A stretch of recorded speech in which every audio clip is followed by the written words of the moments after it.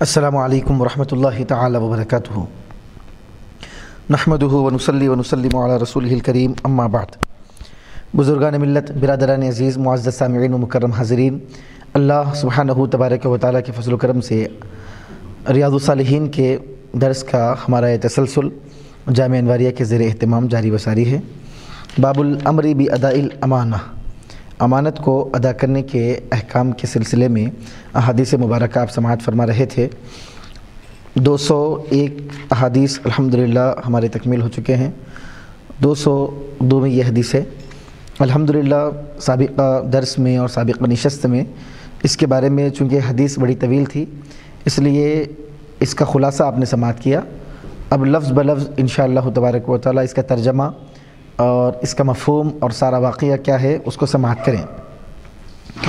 وعن ابی خبی بن عبداللہ بن زبیر رضی اللہ عنہما۔ ابو خبیب رضی اللہ تعالی عنہ، یہ کنیت ہے حضرت عبداللہ ابن زبیر رضی اللہ تعالی عنہما کی۔ حضرت عبداللہ کی یہ کنیت ہے حضرت زبیر رضی اللہ تعالی عنہ کے صاحب زادی کی کنیت ابو خبیب ہے۔ آپ سے روایت سے حضرت عبداللہ ابن زبیر سے فرماتے ہیں، لما وقف الزبیر یوم الجمل دعانی فقمت الى جنبی۔ آپ فرماتے ہیں کہ میرے والد بزرگوار یعنی حضرت زبیر رضی اللہ تعالی عنہ، جب جنگ جمل کے موقع پر اس جنگ میں شریک ہوئے، تو آپ نے مجھے بلایا، فقمت الى جنبی۔ تو میں میرے والد بزرگوار کے بازو جا کر میں ٹھہر گیا۔ فقالا، تو انہوں نے فرمایا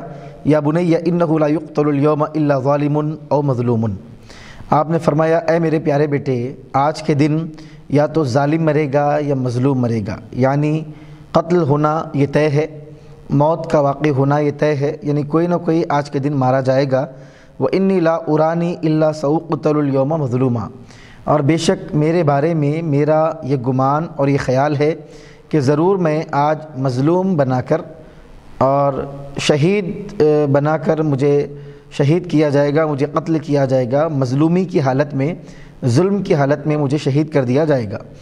وہ ان من اکبر ہمی لدینی افترا دیننا یبقی من مالنا شیعہ آپ فرمانے لگے وہ ان من اکبر ہمی لدینی بے شک مجھے بہت زیادہ فکر میں ڈالنے والی چیز جو ہے، وہ میرا قرضہ ہے۔ آپ فرمانے لگے کہ قرض کی مجھے بڑی فکر ہے۔ افترا دیننا یبقی من مالنا شیعہ کیا تم کیا سمجھتے ہو کہ ہمارا جو قرضہ ہے، اگر اس کو ادا کر دیا جائے، تو ہماری جو دولت ہے، اس میں سے کچھ بچے گا؟ کیا ہمارا قرضہ ہماری دولت میں سے کچھ حصے کو باقی رکھے گا؟ ثم مقالہ پھر آپ نے فرمایا، یا بنیا بے مالنا وقت دینی۔ پھر فرمانے لگی اے میرے پیارے بیٹے، ہماری جو جائیدادیں ہیں اور ہماری جو دولت ہے تم اس کو بیچو اور میرے قرضے کو تم پورا کر دو۔ اوسا بسلوسی وسلوسی ہی لبنی ہی اور آپ نے وصیت کی سلس کی اور فرمایا کہ سلس لبنی ہی ان کے بیٹوں کے لیے۔ کس کے بیٹوں کے لیے؟ یعنی حضرت عبداللہ ابن زبیر رضی اللہ تعالی عنہ کے لیے۔ یعنی لبنی عبداللہ ابن زبیری سلوس السلوسی آپ نے سلوس کی وصیت کی سلوس کا مطلب یعنی پوری جائیداد میں سے جو ون تھرڈ حصہ ہوتا ہے، اس کو سلوس کہتے ہیں۔ پھر اس میں سے جو سلوس ہے،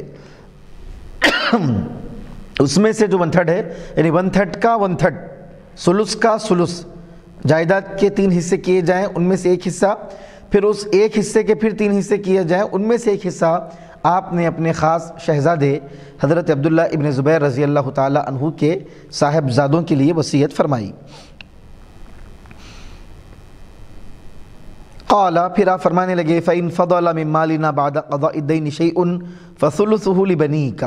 آپ فرماتے ہیں کہ اگر ہمارے مال میں سے اور ہماری دولت میں سے قرض کی ادائیگی کے بعد، قرض کی ادائیگی کے بعد ہماری دولت میں سے کچھ پیسے بچ جاتے ہیں تو اس کا تیسرا حصہ تمہارے بیٹوں کو دیا جائے گا اور تمہارے بیٹوں کو تیسرا حصہ تم دے لو۔ قال ہشام حضرت ہشام فرماتے ہیں، وکان بعد ولد عبداللہ قد واضح بعد بنی زبیر خبیبن و عبادن ولہ یوم عید تسعۃ بنینا و تسع بنات۔ حضرت عبداللہ رضی اللہ تعالیٰ عنہ کے بعض بیٹے، بچے قدوازہ بازہ بنی زبیر حضرت زبیر رضی اللہ تعالیٰ عنہ کے بچوں کے مقابل میں تھے۔ خبیب اور عباد کے اور آپ کو تین نو بیٹے اور نو بیٹیاں تھیں۔ قال عبداللہ، حضرت عبداللہ فرماتے ہیں، فجعل یوسینی بدینی ہی آپ مجھے اپنے قرض کے بارے میں وصیت کرتے رہے۔ وہ یقول اور کہتے رہے، یا بنیا ان عجزت عن شیء منہ فاستعن علیہ بمولایا۔ اے میرے پیارے بیٹے، اگر تم قرض ادا کرنے میں عاجز آ جاؤ، بے بس ہو جاؤ۔ تو اس قرض کی ادائیگی کے لیے میرے مولا، میرے مالک سے تم مدد طلب کرو۔ قالا، فرماتے ہیں، فواللہ ما دریتو ما ارادہ حتی قلتو اللہ کی قسم، آپ کا ارادہ کیا تھا؟ آپ نے مولا کا لفظ فرمایا کہ میرے اگر قرض ادا کرنے سے تم قاصر ہو جاؤ، قرض ادا کرنے سے عاجز ہو جاؤ۔ اور ہماری جو دولت ہے، اس سے قرض کو نہ ادا کر پاؤ تو میرے مالک سے، میرے مولا سے تم مدد طلب کرنا۔ حضرت عبداللہ فرماتے ہیں کہ میرے والد نے جو مولا کہا، اس سے ان کی مراد کیا ہے؟ اس کو میں جان نہ سکا۔ حتیٰ قلتو، یہاں تک کہ میں نے پوچھ لیا، یا ابتی من مولا کا اے میرے والد، آپ کے مولا کون ہے کیونکہ مولا یہ عربی زبان کا لفظ ہے اور یہ مشترک لفظ ہے۔ مشترک کا مطلب ایسا ہوتا ہے یعنی ایسا لفظ جس کے کئی معنی ہوں۔ اور جس کے کئی مفاہیم اور کئی مطالب ہوں عربی زبان میں اکثر ایسے الفاظ ہیں کہ ایک لفظ کے کئی معنی ہوتے ہیں مولا کے معنی غلام کے بھی آتے ہیں مولا کے معنی آقا کے بھی آتے ہیں مولا کے معنی آزاد شدہ غلام کے بھی آتے ہیں مولا کے معنی سرپرست کے بھی آتے ہیں مولا کے معنی مالک کے بھی آتے ہیں مولا کے معنی قریب کے بھی آتے ہیں مولا کے معنی دوست کے بھی آتے ہیں مولا کے معنی حبیب کے بھی آتے ہیں مولا کے معنی کفیل کے بھی آتے ہیں تو بے شمار معنی مولا کے ہیں تو آپ نے جو فرمایا تھا کہ میرے مولا سے میرے میرے لیے میرے مولا سے مدد طلب کر لینا۔ تو حضرت عبداللہ پوچھنے لگے، یا ابتی من مولا کا؟ اے میرے والد، آپ کے مولا کون ہیں؟ قالا تو آپ نے فرمایا، اللہ، میرا مولا اور میرا والی اور میرا مددگار اور میرا مالک اللہ ہے۔ قال فوالله ما وقعت في قربت من دينه الا قلت، یا مولا الزبیر اقضی عنہ دینہ۔ حضرت عبداللہ بن زبیر رضی اللہ تعالیٰ عنہ کا ایمان اور عقیدہ اور اس کے مضبوطی اور آپ کے والد محترم کا ایمان اور عقیدہ اور اس کی مضبوطی کو آپ دیکھیں۔ حضرت عبداللہ کے والد، حضرت زبیر رضی اللہ تعالیٰ عنہ نے فرمایا کہ قرض ادا کرنے میں کوئی مشکل آ جائے، کوئی پریشانی آ جائے تو اللہ تبارک و تعالیٰ سے مدد مانگنا۔ آپ کا اللہ کی ذات پر بھروسہ دیکھیں۔ توکل دیکھیں، یقین دیکھیں، ایمان کی استحکام، ایمان کے استحکام کو دیکھیں اور عقیدے کی مضبوطی کو دیکھیں کہ مجبوری میں، پریشانی میں، مصیبت میں اللہ سبحانہ تبارک و تعالیٰ کی بارگاہ میں دعا کی جائے تو اللہ ضرور مدد فرماتا ہے اس یقین کے ساتھ، اس عقیدے اور اعتقاد کے ساتھ اور اس توکل کے ساتھ آپ نے فرمایا اور آپ کے شہزادے نے بھی اسی توکل اور اسی اعتماد اور اسی یقین اور اسی بھروسے کے ساتھ اللہ کی بارگاہ میں دعا کی اور فرماتے ہیں اللہ کی قسم، ما وقعت فی قربت من دینی کہ جب جب اپنے والد بزرگوار کے قرض کو ادا کرنے میں کوئی مصیبت میں میں پڑھتا اللہ قلتو مگر میری زبان پر یہ آتا، یا مولا زبیری اقضی عنہ دینا اے زبیر کے مولا، زبیر کے قرضے کو ادا فرما۔ جب بھی میں مصیبت میں پڑھتا آپ کے قرضے کو ادا کرنے میں تو میں یہ دعا کرتا فیقضیہو تو اللہ سبحانہ تبارک و تعالی غیب سے مدد فرماتا اور اللہ تعالیٰ آپ کا قرضہ ادا فرما دیتا۔ تو آپ یقین اور ایمان اور توکل کا معیار دیکھیں۔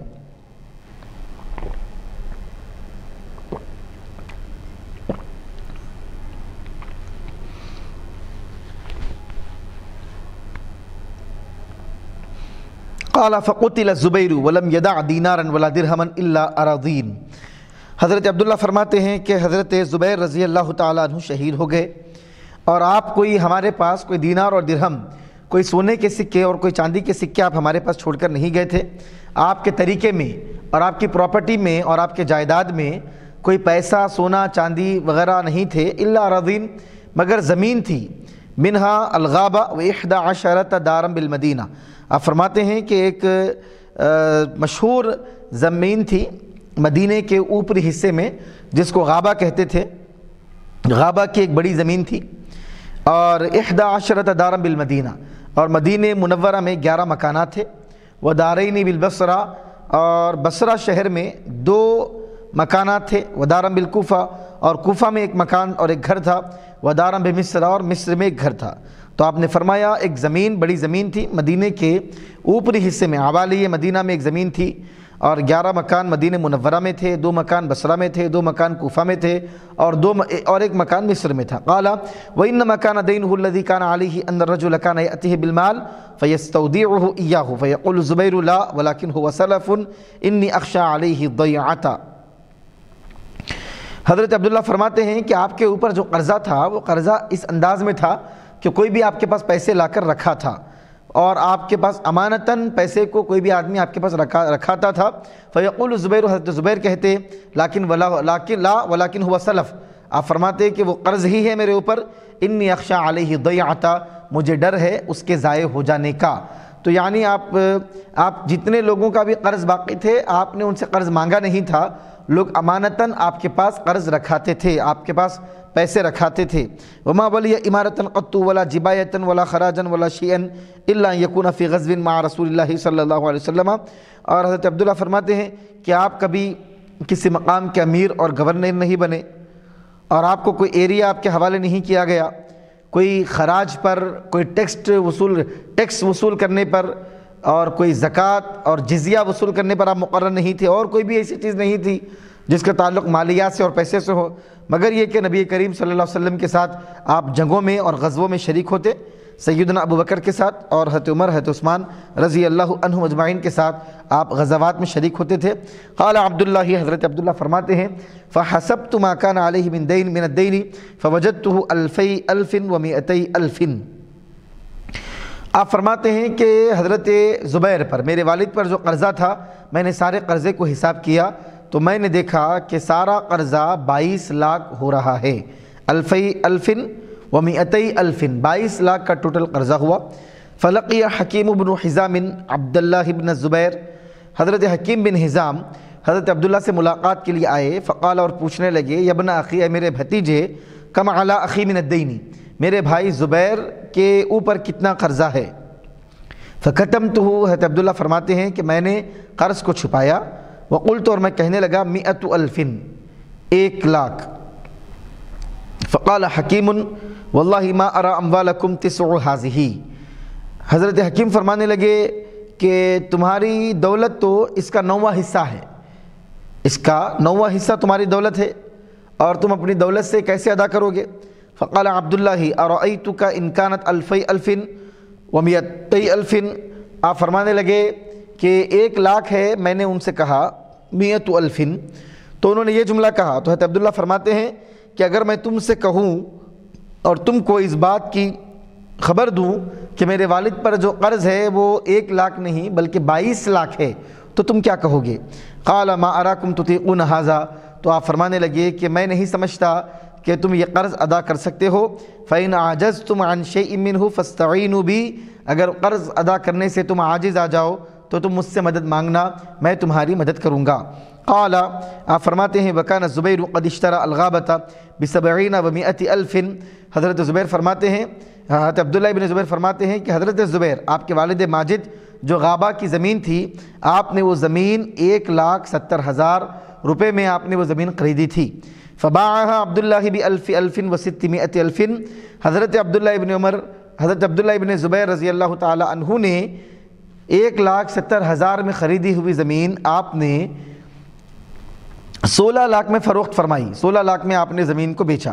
ثم مقام فقال من كان له على الزبير شيء فليوافنا بالغابه پھر آپ ٹھہر گئے اور فرمانے لگے، جس کسی کو، جس کسی کا قرضہ حضرت زبیر دینا ہے اور جس کسی کا کوئی معاملہ حضرت زبیر سے متعلق ہے اور کسی کو حضرت زبیر قرض دینا ہو تو ہمارے پاس آئے، غابے کی زمین سے ہم اس کا قرض پورا کریں گے۔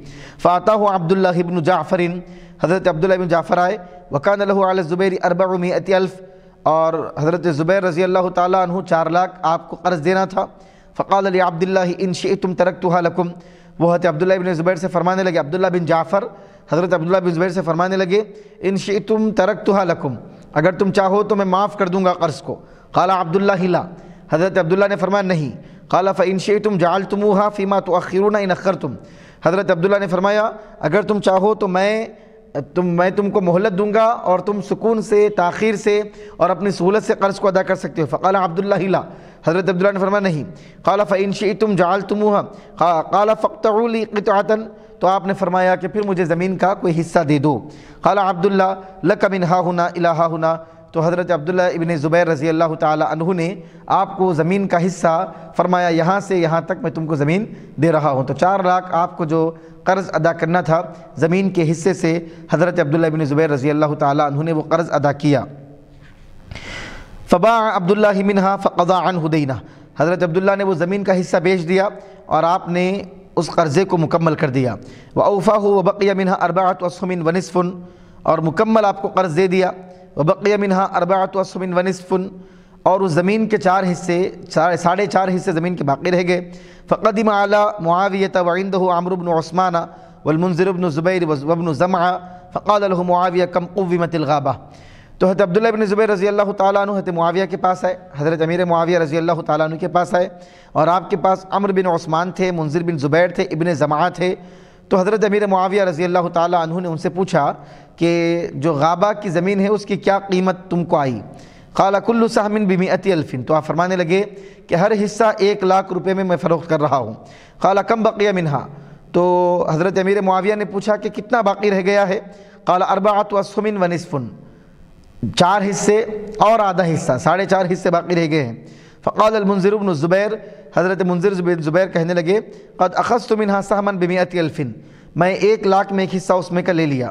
قال عمر بن عثمان، حضرت عمر بن عثمان کہنے لگے، قد اخذت منها سہمن بمیعتی الفن میں ایک لاکھ میں میں اور ایک حصہ لے لیا۔ وقال ابن زماعت ابن زماع نے کہا، قد اخذت سہمن بمیعتی الفن میں نے ایک حصہ ایک لاکھ میں لے لیا۔ فقال معاویہ حضرت معاویہ نے کہا، کم بقیہ منہا؟ اس میں سے کتنا باقی رہ گیا؟ قال سہمن و نصف سہمن ایک حصہ اور آدھا حصہ، ڈیڑھ حصہ باقی رہ گیا۔ فقال قالا تو انہوں نے کہا، قد قسطہ بخمسین و مئت الفن، میں ڈیڑھ لاکھ میں میں نے ایک حصہ اور آدھا حصہ، ڈیڑھ حصے کو میں ڈیڑھ لاکھ میں لے لیا۔ قال وباع عبداللہ ابن جعفر نصیبہ من معاویہ بست مئت الفن۔ حضرت عبداللہ بن جعفر نے اپنا حصہ حضرت معاویہ کو بیچ دیا چھ لاکھ میں۔ فلما فرغ ابن زبیر من قضاء دینہ، جب حضرت عبداللہ بن زبیر رضی اللہ تعالی عنہ آپ کے قرضے کو پورا کرنے، من قضاء ہی جب حضرت زبیر رضی اللہ تعالیٰ عنہ کے قرضے کو آپ مکمل کر دیے قالا بنو زبیر، تو حضرت زبیر کے جو اولاد تھی، حضرت زبیر کے جو بچے تھے، اولاد تھی، وہ پوچھنے لگے، اقسم بیننا میراسنا، ہماری میراث کو ہماری وراثت کو اور ہماری جائیداد کو پراپرٹی کو ہمارے درمیان تقسیم کرو۔ قالا تو حضرت زبیر فرمانے لگے، واللہ لا اقسم بینکم حتی انادی بالموسمی اربع سنین۔ اللہ کی قسم میں تمہارے درمیان اس جائیداد کو تقسیم نہیں کروں گا۔ یہاں تک کہ حج کے موسم میں چار سال تک میں ندا دیتے رہوں گا۔ اللہ من کان له علی الزبیر دین فلیأتنا فلنقضی غور سے سنو، خبردار ہو جاؤ، جس کسی کے پاس، سنو سنو، آپ یہ کہنے لگے جس کسی کو میرے والد زبیر قرض دینا ہو، وہ ہمارے پاس آئے فلنقضی ہم اس کا قرض پورا کر دیں گے۔ فجا كل سنة یونادی في الموسم ہر سال آپ یہی ندا دینے لگے حج کے موسم میں۔ فلما مضى اربع سنین، جب چار سال مکمل ہو گئے، تو اس کے بعد حضرت زبیر رضی اللہ، حضرت عبداللہ ابن زبیر رضی اللہ تعالیٰ عنہ نے آپ کے زبیر رضی اللہ تعالیٰ عنہ کے صاحبزادوں میں میراث کو تقسیم کیا۔ ودفع سلسا اور آپ نے سلس ان کو دے دیا۔ وکان للزبیر اربع نسوہ۔ حضرت زبیر رضی اللہ تعالیٰ عنہ کی چار بیویاں تھیں۔ فاصاب کل ریت الف الفن و مئتا الفن۔ ہر بیوی کو بارہ لاکھ روپے ملے۔ چار بیویاں تھیں، ہر بیوی کے حصے میں بارہ لاکھ روپے آئے۔ فجمیع مالہ خمسون الف خمسون الف الفن و مئتا الفن۔ حضرت زبیر رضی اللہ تعالیٰ عنہ کے مکمل مال کی مقدار پانچ کروڑ دو لاکھ روپے تھی۔ حضرت زبیر رضی اللہ تعالیٰ عنہ کے مال کی مقدار ٹوٹل آپ کے جو زمینات تھے اور آپ کے جو گھر مدینہ منورہ میں، بصرہ میں، مصر میں، مختلف مقامات پہ آپ کے جو مکانات تھے اور آپ کی زمین تھی، زمینات اور جائیداد تھے، وہ ساری ملکیت اور ساری پراپرٹی کی قیمت اس زمانے میں پانچ کروڑ دو لاکھ روپے یہ حضرت زبیر رضی اللہ تعالیٰ عنہ کی ٹوٹل ملکیت تھی، جس میں ان کی چار بیویوں کو بارہ بارہ لاکھ روپے آئے اور تیسرا حصہ جائیداد کا ان کے بیٹوں کے درمیان تقسیم ہوا، جو آپ نے وصیت کی تھی۔ تو عزیزان محترم، اتنی طویل حدیث مبارک آپ نے سماعت فرمائی۔ آپ اندازہ کریں کہ حضرت زبیر رضی اللہ تعالیٰ عنہ کو وصال کا وقت جب قریب آیا، شہادت کا جب وقت قریب آیا، آپ نے دیکھا کہ اس جنگ میں میں قتل کیا جاؤں گا، مجھے شہید کر دیا جائے گا۔ تو حضرت زبیر رضی اللہ تعالیٰ عنہ نے اپنے جائیداد کے بارے میں وصیت بھی فرمائی اور خاص طور پہ آپ نے قرض کے بارے میں اس قدر اہمیت کے ساتھ آپ نے قرض کو ادا کرنے کا حکم دیا اور امانت کو ادا کرنے کا آپ نے حکم دیا۔ حضرت عبداللہ ابن زبیر رضی اللہ تعالیٰ عنہ نے اپنے والد ماجد اور والد بزرگوار کی اس وصیت کو اور آپ کی اس ان خروس کو اور آپ کے قرضے کو آپ نے کس حسن و خوبی کے ساتھ آپ نے ادا کیا، آپ اس کا اندازہ کر سکتے ہیں۔ یہ اس زمانے میں اور قیامت تک کے لیے عزیزان محترم، ہر ایک کے لیے اس کے اندر عبرت ہے، نصیحت ہے۔ ہر تمام اولاد کے لیے جن جن کے ماں باپ کچھ جائیداد میں کچھ چھوڑے جاتے ہیں اور وہ کسی کو قرض وہ دینا، ان کو دینا ہوتا ہے۔ تو عزیزان محترم اولاد کی کس قدر ذمہ داری ہے کہ اپنے ماں باپ کا قرض وہ ادا کریں ان کی جائیداد میں سے؟ عزیزان محترم، لیکن ہم دیکھتے ہیں کہ اولاد کو جب ماں باپ قرض چھوڑ کر جاتے ہیں اور دولت چھوڑ کر جاتے ہیں، اولاد قرض کی ادائیگی کو بھول جاتے ہیں۔ اور وہ قرض کو ڈبا دیتے ہیں، اس میں امانتوں میں خیانتیں کرتے ہیں اور اپنا حصہ برابر لے لیتے ہیں۔ عزیزان محترم، صحابہ کرام رضی اللہ عنہم اجمعین کی زندگی ہمارے لیے نصیحت ہے اور ان کی زندگیوں میں ہمارے لیے دروس ہے، نمونے ہیں اور سبق ہیں کہ ہم کو کس قدر امانتوں کا پاس و لحاظ کرنا چاہیے اور قرض کی ادائیگی میں کس قدر ہم کو اہمیت کے ساتھ اس کو ادا کرنا چاہیے، اس کا ہم اندازہ اس حدیث مبارک سے کر سکتے ہیں۔ باب تحریم الظلم والامر برد المظالمی عزیزان محترم، یہاں سے چھبیسواں باب اس کتاب کا شروع ہو رہا ہے۔ اس باب کا مطلب ہے کہ اللہ تعالیٰ نے ظلم کو حرام کر دیا ہے اور اللہ تبارک و تعالیٰ نے حکم دیا کہ جو بھی ظلم کرے تو بندہ مظلوم سے معافی مانگ لے اور ظلم کو اپنے ختم کرے۔ قال اللہ تعالی، اللہ تبارک و تعالیٰ کا ارشاد مبارک ہے مال الظالمین من حمیم ولا شفیع یوتا ظالموں کو قیامت کے دن نہ ان کا حمایت کرنے والا کوئی دوست ان کا ہوگا، نہ کوئی ان کی سفارش کا ایسا کوئی ان کی ایسی سفارش کرنے والا ہوگا جس کی سفارش کو سنا جائے۔ یعنی ظالم کا نہ کوئی حامی ہوگا، نہ کوئی ناصر ہوگا، نہ کوئی مددگار ہوگا، نہ کوئی دوست ہوگا، نہ کوئی سفارشی ہوگا۔ وقال تعالی وما الظالمین من نصیر اللہ تعالیٰ نے اور ایک مقام پر ارشاد فرمایا کہ ظالموں کا کوئی مدد کرنے والا نہیں ہوگا۔ وأما الحديث فمنها حدیث ابی ذر رضی اللہ عنہ المتقدم فی آخر باب المجاہدہ احادیث میں سے ایک حدیث جو پیچھے باب المجاہدہ میں گزر چکی ہے، جو جس کی روایت حضرت ابو ذر رضی اللہ تعالی عنہ نے کی۔ اگلی احادیث مبارک آپ لاتے ہیں۔ وعن جابر رضی اللہ عنہ ان رسول اللہ صلی اللہ علیہ وسلم قال، حضرت سیدنا جابر رضی اللہ تعالی عنہ سے روایت ہے۔ اللہ کے رسول صلی اللہ علیہ وسلم نے ارشاد فرمایا، اتقوا الظلم۔ آپ فرماتے ہیں کہ ظلم سے بچو، ظلم سے ڈرو۔ فَإِنَّ الظُّلْمَ ظُلُمَاتٌ يَوْمَ الْقِيَامَةِ کیونکہ جو بندہ ظلم کرتا ہے، یہ ظلم قیامت کے دن اس کے لیے تاریکیوں کا سبب بن جائے گا۔ اس کے لیے اندھیروں اندھیروں کا سبب بن جائے گا۔ ظلمتوں کا سبب بن جائے گا۔ وَاتَّقُوا الشُّحَّ فَإِنَّ الشُّحَّ أَهْلَكَ مَنْ قَانَ مَنْ كَانَ قَبْلَكُمْ۔ حضور نے فرمایا، تم بخالت سے بچو کیونکہ بخالت نے تم سے پہلے والوں کو ہلاک کر دیا۔ سابقہ امتوں کو بخالت نے ہلاک کر دیا۔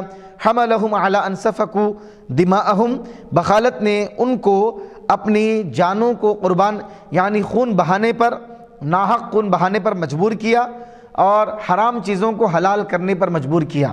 بخالت کی وجہ سے، نفس کی خباست کی وجہ سے اور نفس میں دولت کی خواہش کی وجہ سے اس کو جمع کر کر کے رکھنے کی خواہش کی وجہ سے انہوں نے اپنے خون بھی بہائے اور انہوں نے حرام چیزوں کو حلال بھی کر لیا۔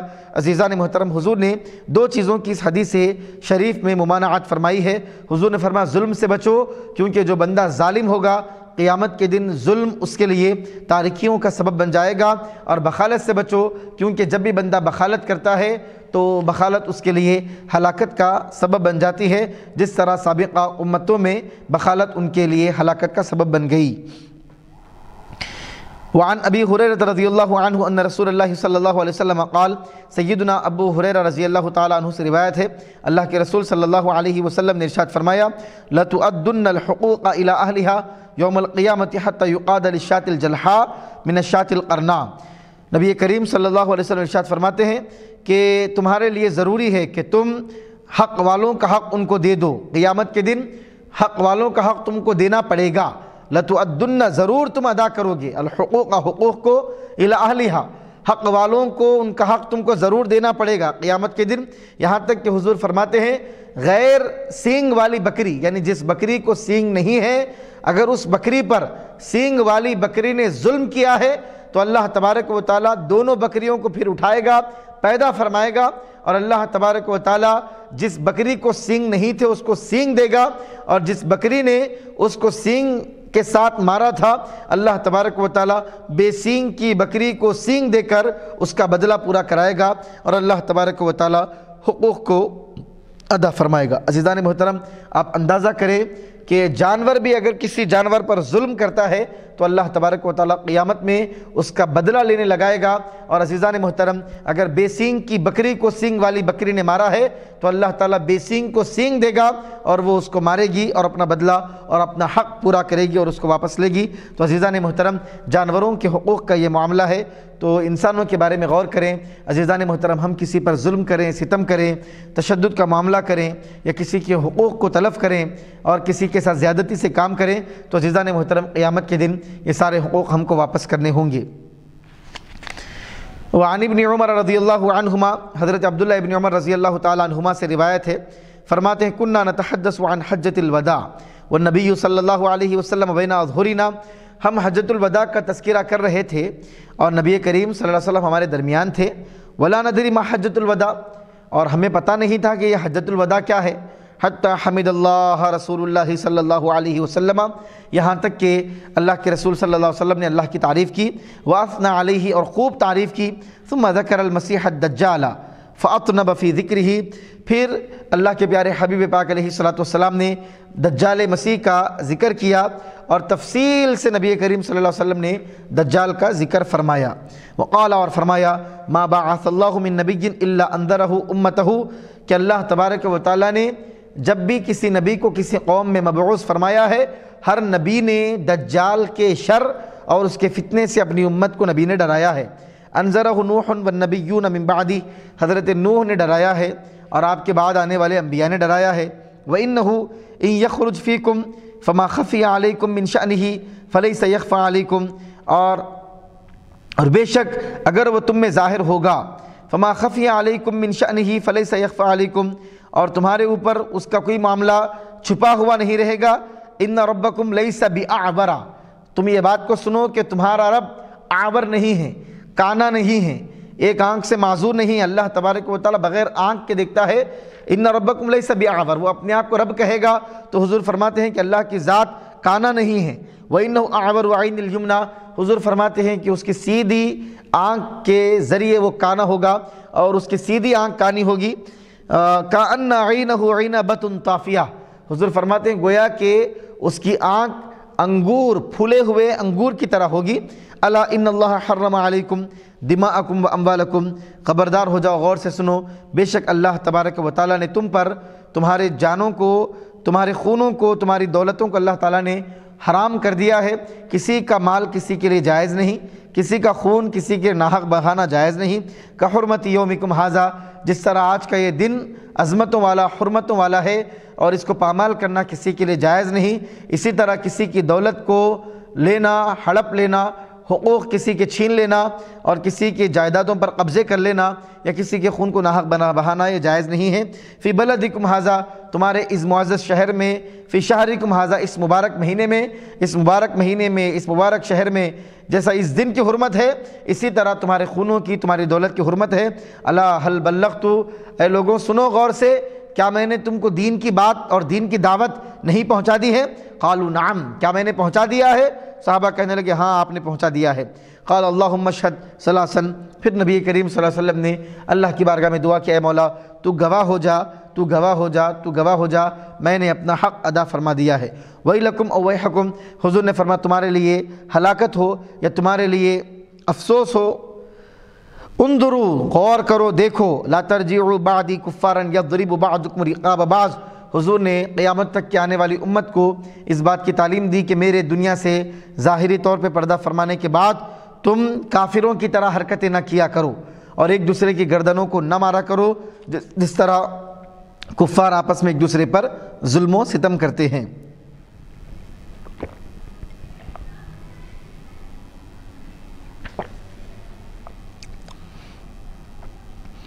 وعن عائشة رضی اللہ عنہ ان رسول اللہ صلی اللہ علیہ وسلم قال، سیدہ بی بی عائشہ صدیقہ رضی اللہ تعالی عنہ سے روایت ہے کہ اللہ کے رسول صلی اللہ علیہ وسلم نے ارشاد فرمایا، من ظلم قید شبر من الارض طبقه من سبع اراضین. جو کوئی بندہ زمین، بالشت بھر زمین کے حصے پر، حصے کے برابر بھی کسی پر ظلم کرے اور کسی کے زمین کا بالش برابر بھی حصہ، اب آپ دیکھیں، لوگ ایک کروں کے کر زمین، لوگوں کی ہڑپ لیتے ہیں رشتہ داروں کی ہڑپ لیتے ہیں اور بچیوں کو حصہ، اولاد کو حصہ نہیں دیتے۔ کئی ایسے مقامات پہ ایک ہی آدمی سارے لوگوں کے حصوں پر قبضہ کر کے بیٹھ جاتا ہے اور بعض لوگ ظلم اور زیادتی کر کے اپنے پڑوسیوں کے زمین کے حصوں کو ہڑپ لیتے ہیں۔ حضور فرماتے ہیں، جو کوئی بندہ بالشت بھر زمین بھی قبضہ کرے گا اور ظلم سے حتیہ لے گا تب بھی قہو من سبع اراضین سات طبق زمین کے اندر تک توقیں ڈال کر اس کو دھسا دیا جائے گا۔ عزیزان محترم، کس قدر دردناک عذاب میں اس بندے کو مبتلا کیا جائے گا جو کسی کی بالشت بھر زمین پر بھی قابض ہوگا اور اس کو ہتھیائے گا ہم اس کا اندازہ کر سکتے ہیں۔ وعن ابی موسیٰ رضی اللہ عنہ قال، حضرت ابو موسیٰ شاری رضی اللہ تعالیٰ عنہ سے روایتیں فرماتے ہیں، اللہ کے رسول صلی اللہ علیہ وسلم نے ارشاد فرمایا، ان اللہ لیملی للظالم فاذا اخذہ لم یفلتہ ثم قرأ۔ بے شک اللہ تبارک و تعالیٰ ظالم کو مہلت دیتا ہے۔ جب ظالم کو اللہ تبارک و تعالیٰ پکڑ لیتا ہے اور اس کا مواخذہ کرتا ہے، پھر اس کو اللہ تبارک و تعالیٰ بخشتا نہیں ہے۔ ثم قرا پھر حضور نے فرمایا سو حضور نے تلاوت فرمائی، وَكَذَلِكَ أَخْذُ رَبِّكَ إِذَا أَخَذَ الْقُرَى وَهِيَ ظَالِمَةً إِنَّ أَخْذَهُ عَلِيمٌ شَدِيد۔ اور اسی طرح آپ کے رب کا، رب کی پکڑ ہے کہ جب اللہ تعالیٰ بستیوں کو پکڑتا ہے، ظالم بستیوں کا مواخذہ کرتا ہے، ان کی گرفت کرتا ہے، ان کو عذاب، ان کے اوپر عذاب کو مسلط کرتا ہے تو پھر اللہ تبارک و تعالیٰ اسی طرح بستیوں کو اجاڑ دیتا ہے، ظالموں کو ہلاک کر دیتا ہے، تباہ و برباد کر دیتا ہے۔ ان اخذہ علیم شدید۔ بے شک اللہ جب مواخذہ کرنے پہ آتا ہے، جب اللہ پکڑنے پہ آتا ہے اور گرفت کرنے پر اللہ تعالیٰ آتا ہے اور مواخذہ کرنے، ظلم کا بدلہ دینے اور نیست و نابود اور ہلاک کرنے پہ اللہ آتا ہے، تو پھر اللہ تبارک و تعالیٰ کا عذاب بڑا دردناک اور انتہائی عبرت کا نشان ہوتا ہے اور بعد میں آنے والوں کے لیے وہ عبرت کا سامان بن جاتا ہے۔ وعن معاذ رضی اللہ عنہ قال، بعثنی رسول اللہ صلی اللہ علیہ وسلم فقال حضرت معاذ بن جبل رضی اللہ تعالیٰ عنہ سے روایت فرماتے ہیں، مجھ کو اللہ کے رسول صلی اللہ علیہ وسلم نے بھیجا۔ فقال آپ نے مجھے گورنر بنا کر یمن کی طرف بھیجا تو حضور نے مجھ سے یہ ارشاد فرمایا انک تأتی قوما من اہل الكتاب فدعوہم الى شہادت اللہ الہ الا اللہ و انی رسول اللہ بے شک تم اہل کتاب کے قوم کے پاس جا رہے ہو، آ رہے ہو۔ تم ان کو سب سے پہلے اس بات کی دعوت دینا کہ اللہ کے سوا کوئی معبود نہیں ہے۔ اور اس بات کی دعوت دینا کہ میں اللہ سبحانہ تبارک و تعالیٰ کا بھیجا ہوا رسول ہوں۔ فَإِنْهُمْ أَطَاعُوا لِذَلِكَ۔ پہلے ان کی تربیت کرنا اور توحید کا اور رسالت کا درس ان کو دینا۔ اور اللہ کی وحدانیت اور میری رسالت، اس بات کی وہ اطاعت کر لیں۔ فَإِنْهُمْ أَطَاعُوا لِذَلِكَ۔ اگر وہ اس بات کو مان لیں، اللہ کے سوا کوئی معبود نہیں ہے، اس بات کو مان لیں اور مجھے رسول مان لیں، اگر اس بات کی اطاعت کریں، فَأَعْلِمْهُمْ أَنَّ اللَّهَ قَدْ اِفْتَرَضَ عَلَيْهِمْ خمس صلوات فی کل یوم ولیلہ تو ان تو ان کو اس بات کی خبر دینا، اس بات کا علم دے ان کو اس بات کے معلومات دینا اور ان کو آگاہ کرنا، باخبر کرنا، ان کو خبر دینا۔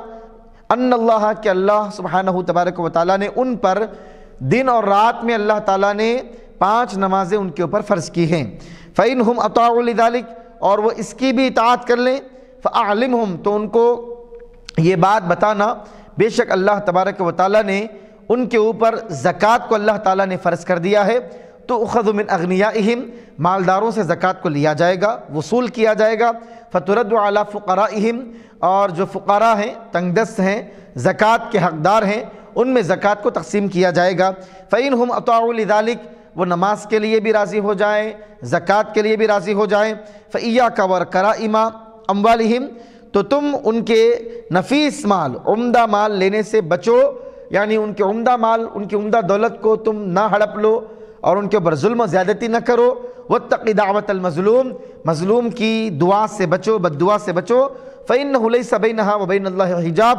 حضور فرماتے ہیں، کیونکہ مظلوم کی دعا بد دعا اور اللہ کے درمیان کوئی پردہ حائل نہیں ہوتا ہے، اور جب کسی بندے پر ظلم کیا جاتا ہے اور وہ بندہ اللہ کی بارگاہ میں دعا کرتا ہے، اللہ ضرور اس بندے کی دعا کو قبول فرماتا ہے۔ اس اس حدیث مبارک میں کئی نکات ہیں۔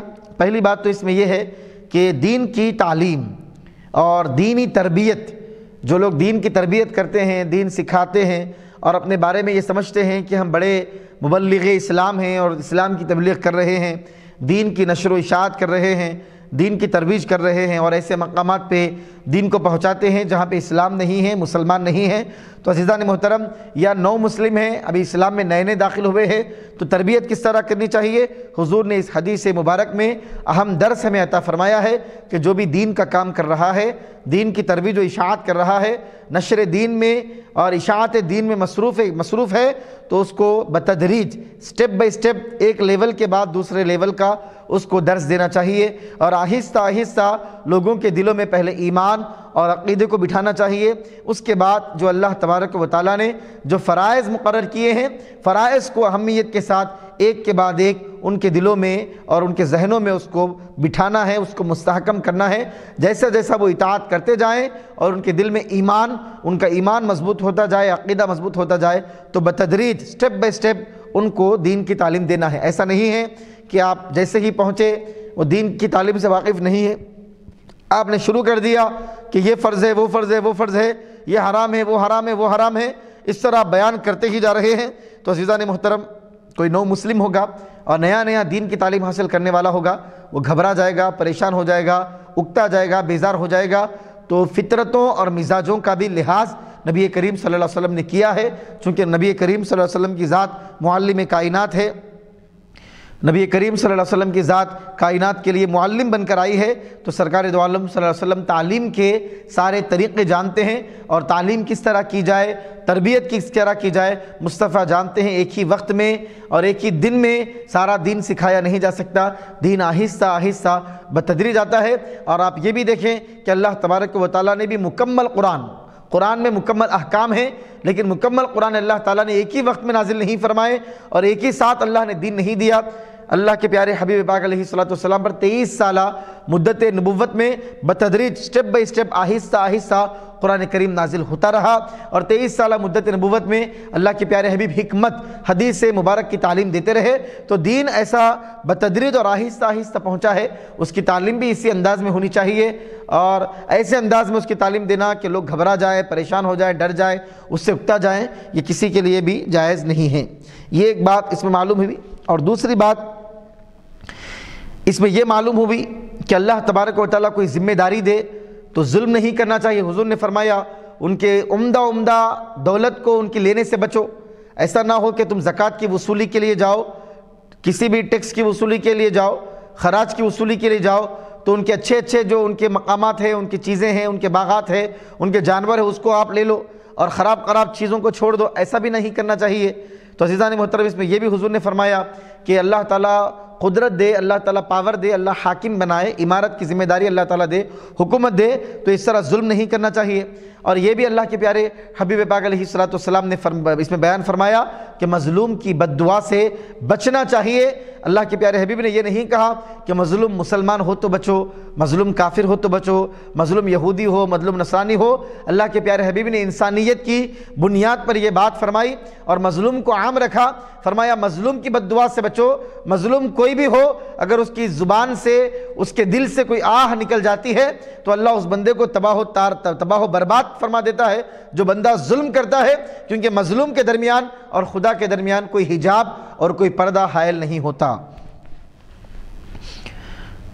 وعن ابی حمید عبد الرحمن بن سعد الساعدی رضی اللہ عنہ قال استعمل النبي صلى الله عليه وسلم رجلا من الأزد يقال له ابن اللطيبة ابن اللطبية على الصدقة فلما قدم قال هذا لكم وهذا أهدي إلي اللہ کے نبی صلی اللہ علیہ وسلم نے ازد جو یمن کا ایک علاقہ ہے، اس یمن کے علاقے ازد کے ایک آدمی کو ایک مقام کا ذمہ دار بنایا تھا، یقال له ابن اللطبیہ جس کا نام، جس کو ابن لطبیہ کہا جاتا تھا۔ صدقہ وصول کرنے پر حضور حضور نبی کریم صلی اللہ علیہ وسلم نے اس کو صدقہ وصول کرنے کی اس کو ذمہ داری نبی کریم صلی اللہ علیہ وسلم نے عطا فرمائی تھی۔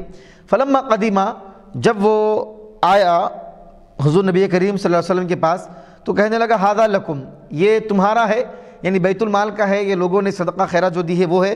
وہادہ اہدیہ الیہ، اور یہ وہ چیزیں ہیں جو لوگوں نے مجھے ہدیتاً دی ہیں۔ مجھے تحفے کے طور پر دی۔ حضور نے ایک کو ذمہ داری دی وصول کرنے کی، تو وہ تھوڑے، تھوڑی دولت اپنے پاس رکھ لیا، تھوڑی دولت لا کر دینے لگا اور کہنے لگا کہ یہ صدقہ ہے۔ اور یہ لوگوں نے مجھے خاص طور پہ ہدیہ دیا ہے۔ فقام رسول اللہ صلی اللہ علیہ وسلم علی المنبری فحمد اللہ و اثنا علیہ. تو اللہ کے رسول صلی اللہ علیہ وسلم ممبر پر ٹھہر گئے اور آپ نے اللہ تعالیٰ کی تعریف کی اور بہت زیادہ تعریف کی، ثم قال پھر فرمانے لگے، اما بعد، اب رہا حمد کے بعد فَإِنِّي أَسْتَعْمِلُ الرَّجُلَ مِنْكُمْ عَلَى الْعَمَلِ مِمَّا وَاللَّانِي اللہ. اے لوگوں، سنو کہ اللہ تعالیٰ نے جس چیز کی ذمہ داری مجھے دی ہے، میں تم میں سے کسی آدمی کو ذمہ داری دیتا ہوں۔ اللہ نے مجھے والی بنایا ہے، میں تم میں سے کسی کو والی اور سرپرست بناتا ہوں۔ فیاتی فیقول، اور وہ آتا ہے اور مجھ سے کہتا ہے ہادہ لکم، یہ تمہارے لیے ہے۔ وہ ہادہ حدیت الحدیت الیہ۔ اور یہ ہدیہ ہے جو مجھے خاص طور پہ دیا گیا ہے۔ افلا جیسا، جلس فی بیتی ام ابی ہی او امی حتیٰ عطیہ حدیت ہو ان کا نہ صادقہ۔ حضور نے فرمایا، اگر وہ سچا ہے تو اپنے باپ اپنی ماں کے گھر میں بیٹھا رہے اور وہاں پر لوگ اس کو لا کر ہدیے دیتے رہے۔ اللہ اور اس کے رسول کے گھر، اللہ اور اس کے رسول کے کام پر وہ معمور ہے اور لوگ اس کو سارا صدقہ دے رہے ہیں اور وہ جھوٹ بول کر یہ کہتا ہے کہ آدھا ہدیہ ہے، آدھا صدقہ ہے۔ حضور نے فرمایا، اپنے گھر پر بیٹھا رہے، دیکھتے ہیں اگر وہ سچا ہے، کون اس کو لا کر ہدیہ دیتا ہے؟ تو عزیزان محترم، یہ اللہ کے پیارے حبیب پاک علیہ صلاۃ السلام نے امانت داری اور اس کا پاس و لحاظ کرنے کا حکم اس حدیث میں دیا۔ واللہ لا یأخذ احد، لا یأخذ احد منکم شیئا بغیر حقه الا لقی اللہ تعالی یحملہ یوم القیامہ۔ حضور فرماتے ہیں، جو کوئی آدمی ناحق، جو اس کا حق نہیں ہے، اس چیز کو لیتا ہے، امانت میں خیانت کرتا ہے اور اگر کوئی اس کو عہدہ، دولت کا کوئی دولت کا مال و دولت کو کوئی عہدہ اس کو مل جائے، اس عہدے میں قیانت کرتا ہے، تو اللہ تعالیٰ کی بارگاہ میں ایسے آئے گا کہ قیامت میں اس گناہ کو اٹھاتا ہوا وہ آئے گا۔ فلا اعرفن احد منکم لقی اللہ يحمل بعیرا له رغا رغاء او بقرة له خوار او شاة تیعر ثم رفع یدیہ حتی رؤیا بیاض ابتیہ حضور فرماتے ہیں کہ فلا عارفن میں نہیں جانوں گا تم میں سے کسی کو بھی جو اللہ تعالیٰ کی بارگاہ میں آئے، وہ کسی اونٹ کو ہتھیایا ہوا ہو، جو اونٹ آوازیں نکالتا ہو، اونٹ کی آواز کو رغا کہا جاتا ہے، یا بیل کو لے کر آیا ہو اور بیل پکار رہی ہو، یا اپنے ساتھ بکری کو لے آیا ہو اور وہ من منا رہی ہو، ثم رفع یدیہ یعنی حضور نے فرمایا کہ وہ کوئی چیز کو اپنے لیے نہ لے۔ اگر کوئی آدمی اونٹ صدقہ لے کر دے دے تو وہ سارا بیت المال اور جو جس کا حصہ ہے، آج کل یہ مدارس پہ اور مختلف مقامات پہ بھی یہ بات کہی جا سکتی ہے۔ اگر کسی کو مدرسے میں ذمہ دار بنا دیا جائے اور صدقہ اور زکوٰۃ کے طور پہ صدقے کے طور پہ لوگ بکرا لا کر دیں اور آدمی یہ سمجھے کہ یہ میرا ہدیہ ہے اور آدمی سارا بکرا اپنے گھر میں لا لے عزیزان محترم، یہ ناجائز ہے۔ جس کا مال ہے، جس کے لیے لایا جا رہا ہے، اسی میں اس کو صرف کرنا حضور نے فرمایا کہ اگر دنیا میں ایسا کریں گے تو آخرت میں وہ اونٹ، وہ گائے، وہ بکرا، وہ سارا آخرت میں آئے گا۔ پھر حضور نے اپنے دونوں ہاتھوں کو بلند کیا اور نبی کریم صلی اللہ علیہ وسلم کے بغل مبارک کی سفیدی نظر آنے لگی۔ فقال حضور نے فرمایا، اللہم حل بلغتو اے مولا کیا میں نے پہنچا دیا ہے؟ سلاسن تین مرتبہ حضور نے اپنے ہاتھوں کو بلند کر کے فرمایا، اے مولا میں نے حق اور دین کی بات کو میں نے پہنچا دیا ہے۔ وعن ابی حریرت رضی اللہ عنہ ان نبی صلی اللہ علیہ وسلم قال، سیدنا ابو حریرہ رضی اللہ تعالیٰ عنہ سے روایت ہے نبی کریم صلی اللہ علیہ وسلم سے روایت کرتے ہیں، من کانت عندہ مظلمت لأخیہ، من عرضه او من شیء فلیتحللہ منہ اليوم قبل اللہ یکون دینار ولا درہم، ان کان له عمل صالح، اخذ منہ بقدر مظلمته وإن لم يكن له حسنات، اخذ من سیئات صاحبه فحمل علیہ. نبی کریم صلی اللہ علیہ وسلم ارشاد فرماتے ہیں کہ جس کسی آدمی، جو کوئی آدمی اپنے بھائی پر ظلم کرے، اس کی عزت کے اوپر حملہ کرے اس کی عزت کو بھرے بازار میں نیلام کر دے، بے عزت کرے یا کوئی اور چیز بھی کرے۔ فَلْيَتَحَلَّلْهُ مِنْهُ الْيَوْمِ۔ تو آج کے دن اسی وقت وہ اس کو حلال کر لے، جو کہ بندہ کسی کی عزت نکالے یا کسی کا کوئی بھی معاملہ کسی بھی لحاظ سے اس کے اوپر ظلم کرے، تو آج کے دن اس کو حلال کر لے، معاف کرا لے اپنے لیے۔ قبل اس کے کہ ایسا وقت آ جائے، نہ جہاں پہ کوئی دینار کام کرے گا، نہ سونا کام کرے گا، نہ چاندی کام کرے گی۔ وہاں پر قیامت کے دن نہ سونا ہوگا، نہ چاندی ہوگی، نہ دولت ہوگی، یہیں پہ وہ اس کو معاف کرا لے، یہیں پہ حلال کر لے۔ اگر ایسا نہیں کرے گا تو حضور فرماتے ہیں قیامت کے دن وہ آئے گا۔ تو حضور فرماتے ہیں اگر وہ نیک اعمال کیا ہوا ہو، تو جتنا ظلم اور جس قدر ظلم اس نے اپنے بھائی پر کیا ہے، اتنا ظلم کا بدلہ اس کے نیک اعمال سے ادا کیا جائے گا اور اس کی نیکیاں اس مظلوم کو، اس بیچارے مظلوم کو دے دی جائیں گی۔ اور اس کے اگر وَإِن لَمْ يَكُلْ لَهُ نیکیاں نہ ہو تو مظلوم کے گناہ اس پر ڈال دیے جائیں گے۔ دو میں سے اما حضا و اما ذاک یا تو یہ یا تو وہ، دو میں سے ایک چیز طے ہے۔ یا اگر نیکیاں کرنے والا ہو، نیکیاں مظلوم کو دے دی جائیں گی۔ اگر گناہ ہو، تو مظلوم کے گناہیں لے کر ظالم پر ڈال ڈال دیا جائے گا۔ تو عزیزان محترم، کس قدر ہم کو اس حدیث مبارک سے درس لینا چاہیے؟ اور اگر ہم سے جانے انجانے میں کسی پر ہم نے ظلم و زیادتی کی ہے، کسی کا دل دکھایا ہے، کسی کی عزت کو ہم نے نیلام کیا ہے، یا کسی کی امانت میں ہم نے خیانت کی ہے، یا ظلم کا جو بھی طریقہ ہے، ہم نے کسی پر کسی بھی طریقے سے ظلم کیا ہے۔ عزیزان محترم، فوری طور پہ ہم کو وہ چیز حلال کر لینی چاہیے اور فوری طور پہ ہم کو معافی مانگ لینی چاہیے اور حقوق جس کے جو ہیں، ان تک اس کو پہنچا دینا اور ادا کر دینا چاہیے۔ ورنہ قیامت کے دن پھر نیکیوں کا سودا کرنا ہوگا۔ اور آپ جانتے ہیں کہ کس قدر کٹھن گھڑی میں بندہ قیامت کے دن ہوگا کہ نیکیاں کمانے کا کوئی ذریعہ وہاں پر نہیں ہوگا۔ دنیا میں جو کر کے جائے گا نیکیاں، آخرت میں وہ نیکیاں بھی دفتر میں نہیں رہیں گی۔ تو کیسی بدبختی کی بات ہوگی اور سعادت مندی کے خلاف معاملہ ہوگا۔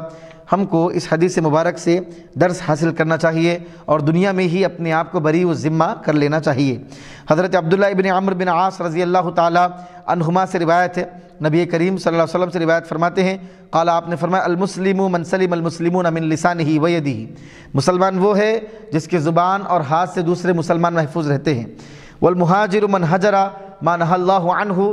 اور مہاجر وہ ہے جو اللہ تبارک و تعالی نے جس چیز سے اس کو روکا ہے، اس سے رکے اور اس سے باز رہے۔ تو مسلمان اس وہی آدمی کہلاتا ہے۔ مسلمان کے معنی ہی یہ ہیں کہ آپ کی زبان اور آپ کی ہاتھ سے دوسرے مسلمان محفوظ رہے اور آپ لوگوں کے لیے ظالم نہ بن جائے، لوگوں پر ظلم نہ کر بیٹھیں۔ اور مہاجر حقیقت میں ہجرت کرنے والا وہ ہے جو منحیات اور ممنوعات جو اللہ تعالیٰ نے جن چیزوں سے روکا ہے، جن سے منع فرمایا ہے، جن کو اللہ تعالیٰ نے حرام قرار دیا ہے، ایسی چیزوں سے اپنے آپ کو روکنے والا حقیقت میں ہجرت کرنے والا ہے۔ ہجرت کے معنی چھوڑنے کے آتے ہیں، حقیقت میں ہجرت کرنے والا وہ ہے جو گناہوں کو چھوڑے اور حقیقت میں مسلمان وہ ہے جس کی زبان اور جس کے ہاتھ سے دوسرے مسلمان محفوظ رہیں۔ وعنه رضی اللہ عنہ قال كان على ثقل النبي صلی اللہ علیہ وسلم رجل يقال له کرکرا فمات.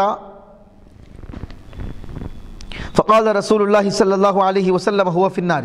فذهبوا ينظرون إليه فوجدوا عباءة قد غلها. حضرت عبداللہ بن عمر بن عاص رضی اللہ تعالیٰ عنہما سے ہی روایت ہے فرماتے ہیں کہ نبی کریم صلی اللہ علیہ وسلم کے ساز و سامان پر ایک آدمی مقرر تھا جس کا نام کرکرا تھا.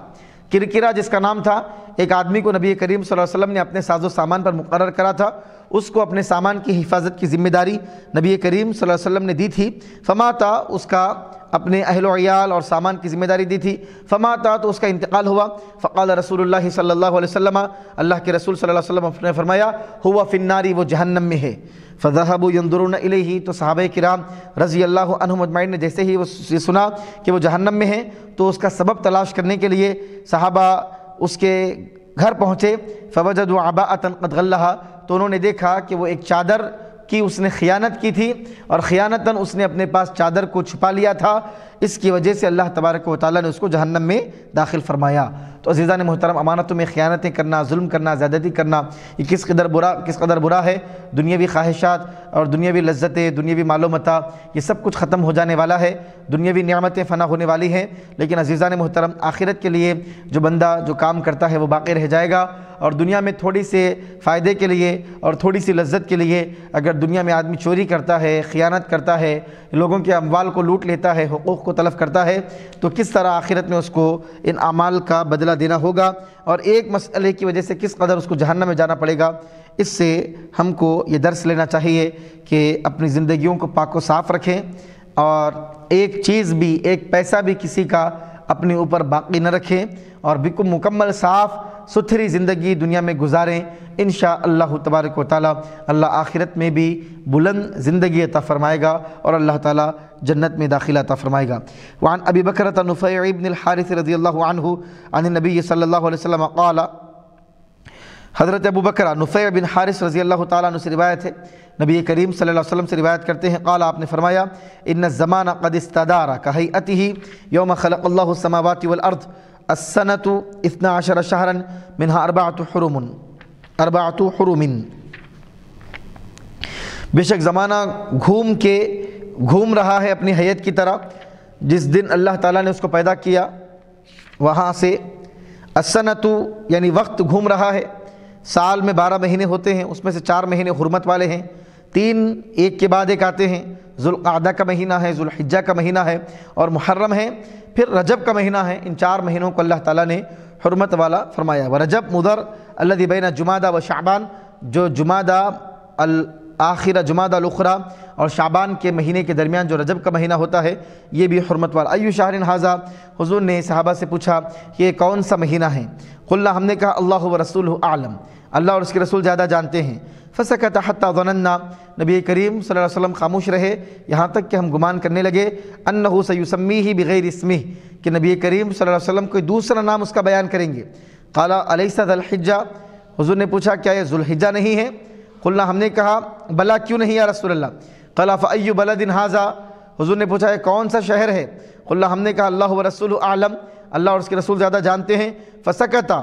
وہ خاموش رہے حتیٰ ظننا یہاں تک کہ ہمیں گمان ہونے لگا کہ حضور اس کا دوسرا نام رکھ دیں گے۔ قالا علیہ البلدتا حضور نے پوچھا، کیا یہ شہر شہر مکہ نہیں ہے؟ قلنا، بلا۔ ہم نے کہا، کیوں نہیں؟ قالا فایو یومن حاضہ حضور نے پوچھا، کون سا دن ہے آج؟ قلنا، اللہ و رسول عالم۔ اللہ اور اس کے رسول زیادہ بہتر جانتے ہیں۔ فسکت، حضور خاموش رہے۔ حتیٰ ظننا انہو سیسمی ہی بغیر اسمی کہ اللہ تعالیٰ دوسرا، کہ اللہ کے رسول دوسرا نام رکھ دیں گے۔ قال علیہ سے یوم النحری کیا آج عید الاضحیٰ کا دن نہیں ہے، قربانی کا دن نہیں ہے۔ قلنا بلا، ہم نے کہا کیوں نہیں؟ قالا، تو نبی کریم صلی اللہ علیہ وسلم نے ارشاد فرمایا، فَإِنَّ دِمَاءَكُمْ وَأَمْوَالَكُمْ وَأَعْرَاضَكُمْ عَلَيْكُمْ حرام۔ اے لوگوں، سنو، تمہارا خون تمہاری دولت اور تمہاری عزتیں تمہارے اوپر حرمت والی ہے، حرام ہے۔ کسی کے لیے جائز نہیں ہے کہ کسی کی دولت کو ہڑپ لے، کسی کے لیے جائز نہیں ہے کہ کسی کے خون کو بہائے، کسی کے لیے جائز نہیں ہے کہ کسی کی عزت نکالے۔ کہ حرمتی یومی کم حاضہ فی بلدی کم حاضہ فی شہری کم حاضہ کس طرح؟ جس طرح آج کے دن کی حرمت ہے، آج کے شہر کی حرمت ہے اور آج کے اس مقام کی حرمت ہے، اس طرح تمہارے تمہارے خون، تمہاری دولت، تمہاری عزت حرام ہے وَسَتَلْقَوْنَ رَبَّكُمْ فَيَسْأَلُكُمْ عَنْ أَعْمَالِكُمْ۔ اللہ تعالیٰ سے تم کو ملنا ہے۔ اللہ تمہارے اعمال کے بارے میں تم سے سوال کرے گا۔ اللہ غور سے سنو۔ فلا ترجعوا بعد کفارا یضرب بعضکم رقاب بعض۔ میرے بعد کافروں کی طرح حرکتیں نہ کرنا کہ تم میں سے کوئی دوسرے کے سر کو اڑانے لگے اور ایک دوسرے کا خون خرابہ کرنے لگو۔ کیونکہ تمہارے خون آپس میں ایک دوسرے کے لیے حرمت والے ہیں، حرام ہیں۔ اللہ لیبلغ الشاہد الغائبہ۔ حضور نے فرمایا، غور سے سنو، یہاں پہ جو موجود ہے ان لوگوں تک میری بات کو پہنچا دے جو یہاں پر نہیں آ سکا ہے۔ فَلَعَلَّ بَعْدَ مَنْ يَبْلُغُهُ أَنْ يَكُونَ أُعَالَهُ مِنْ بَعْدِ مَنْ سَمِعَ حضور نے فرمایا ڈائریکٹ جو سنا ہے اور جو انڈائریکٹ سنے گا، تمہارے ذریعے سنے گا، ہو سکتا ہے کہ وہ زیادہ اس پیغام کو یاد رکھنے والا ہو اور اس پیغام پر عمل کرنے والا ہو۔ ثم قالا پھر حضور نے فرمایا اللہ حل بلغتو غور سے سنو، یقیناً کیا میں نے پہنچا دیا ہے؟ غور سے سنو، کیا میں نے پہنچا دیا ہے؟ قلنا، نعم۔ ہم نے کہا ہاں قال اللہم شہد آپ نے فرمایا، اے مولا، تو گواہ ہو جا، میں نے دین کی دعوت کو مکمل طریقے سے پہنچا دیا ہے۔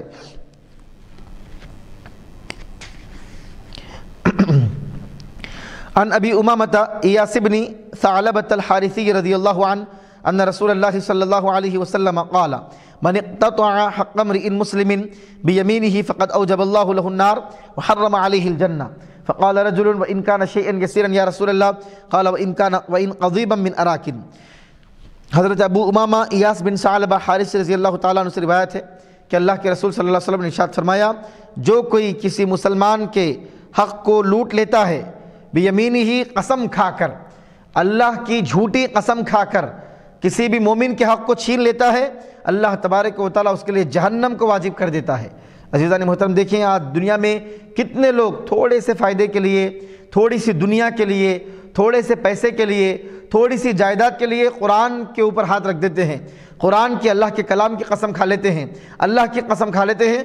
عزیزان محترم، حضور فرماتے ہیں، قسم کھا کر جو کسی مسلمان کا حق لوٹتا ہے، اللہ تعالیٰ جنت اس کے اوپر حرام فرما دیتا ہے اور جہنم اللہ اس کے اوپر واجب فرما دیتا ہے۔ وہ جہنم میں جائے گا۔ حرم علیہ الجنہ۔ اللہ اس پہ جنت حرام فرما دیتا ہے۔ فقال رجل، نبی کریم صلی اللہ علیہ وسلم سے ایک صاحب نے کہا وہ ان کا نشے ان یا رسول اللہ، اگرچہ کہ تھوڑی چیز ہو چھوٹی چیز بھی اگر کوئی قسم کھا کر لے لے تو بھی جہنم میں جائے گا۔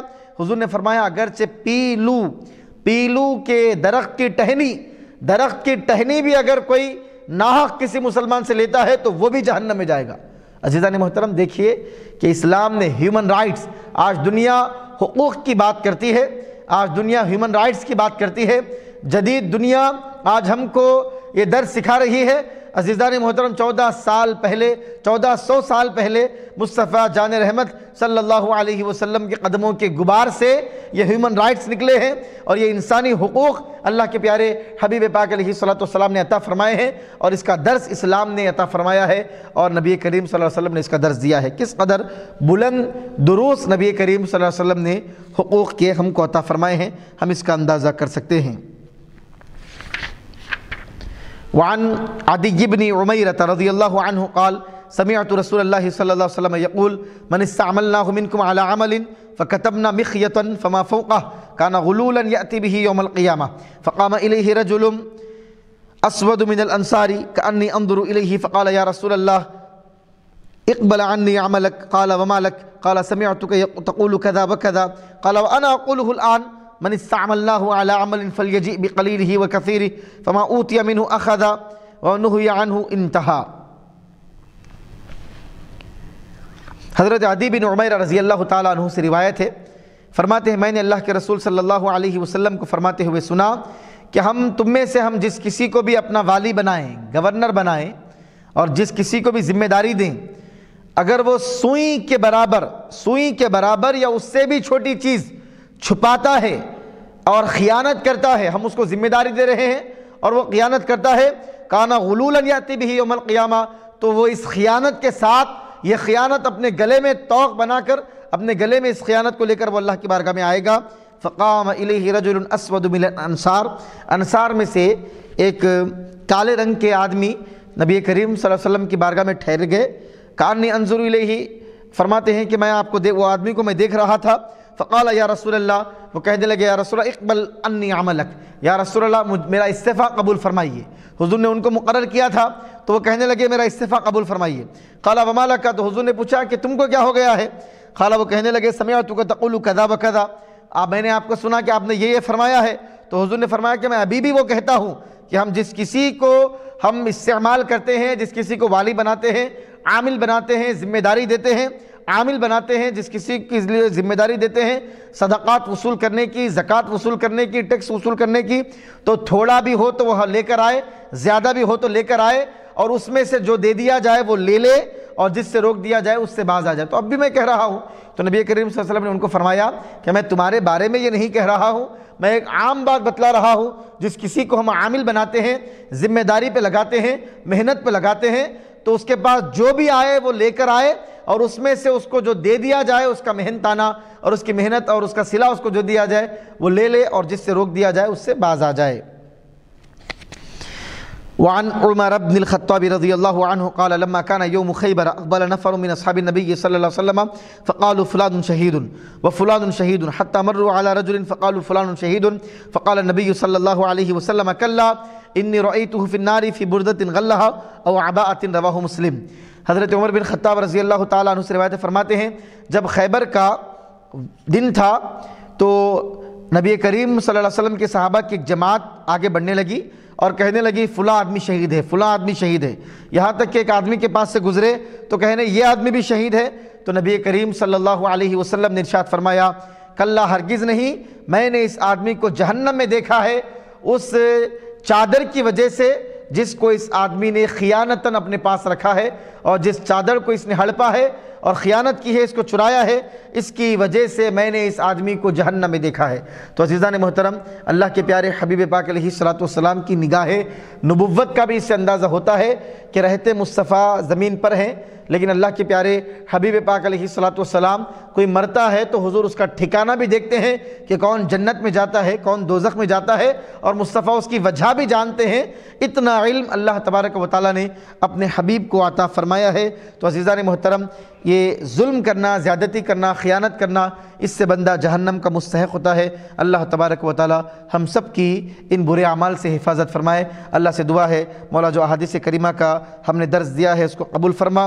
سننے اور سنانے سے زیادہ عمل کرنے کی توفیق عطا فرما. وآخر دعوانا الحمد للہ رب العالمین وما علینہ البلاغ.